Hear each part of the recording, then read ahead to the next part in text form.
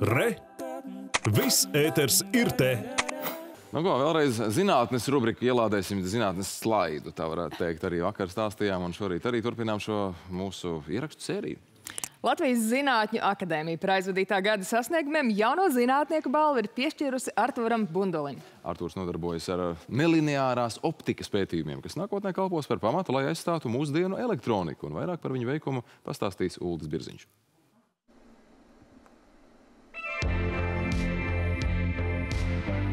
Artūrs Bunduls Latvijas Universitātes Cietvielu fizikas institūtā pirmo reizi viesojās mācoties desmitajā klasē. Toreiz tā bijusi ekskursija, un jau tad viņš nodomājis, ka šī ir ļoti interesanta vieta un ka šis varētu būt ceļš, uz kuru nākotnē virzīties. Tas ceļš jau man sākās vidusskolas laikos, kad uh, bija ļoti labs fizikas skolotājs, kas ieinteresēja par šo priekšmetu, kurš uh, spēja interesanti stāstīt par to visu um, parādīt, tā, ra, radīt tādu iespēju, ka izprotot fiziku, var mēģināt izprast, kā strādā pasaule. Tagad viņš institūtā nodarbojas ar nelineārās optikas pētījumiem, izzinot, kā mainās dažādu materiālu īpašības, temperatūras, gaismas un citu apstākļu ietekmē.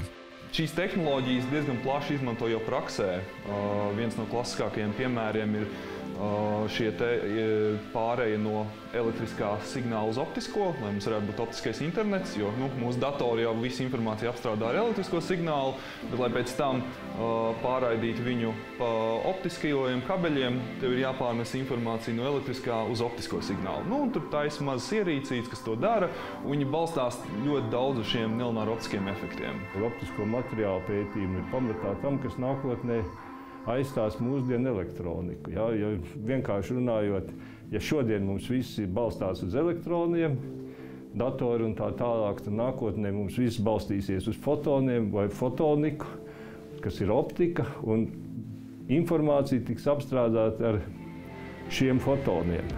Artūra šā brīža pētījumiem nākotnē varētu būt liela nozīme jauno tehnoloģiju attīstībā. Es mēģinu atstrādāt metodes, kā pētīt materiālus un raksturot viņu īpašības un pateikt, cik piemēroti viņi būtu praktiskiem pielietojumiem dažādu ierīču veidošanā. Un paralēli tam, protams, arī pētu jaunus organiskos materiālus un meklēju, vai kāds no viņiem varētu būt pielietojams jau efektīvāk ierīču veidošanā. Kolēģi Artūru un viņa zinātnisko potenciālu raksturo ar ļoti labiem vārdiem. Un Arthurs šajā ziņā ļoti labi izceļās varbūt ne tikai uz manu doktorantu fona, bet arī uz visu pārējo man zināmo jauno fiziķu fona, kas te tūmā grozās, kad viņš ir ļoti labi sagatavots matemātikā. Viņam ir labas teorētiskās fizikas zināšanas, kuras viņš māca pielietot praktiskajām lietām. Tikmēr pašā Artūra zinātnē aizrauja tas, ka nekad nav garlaicīgi un te katru dienu viņš iemācās kaut ko jaunu. Man ļoti patīk tas, ka katru dienu mainās tas, ko tu dari. Tas nav rutīnas darbs, nav tā, ka tu katru dienu atnāc, nosēdi 8 stundas pie datora un dodies mājās. Tad tu kādu dienu tu taisi tur paraugs, darbojies ar rokām, tad tu veic mērījumus, tad tu apstrādā datus, tad tu ieraugi kaut ko jaunu.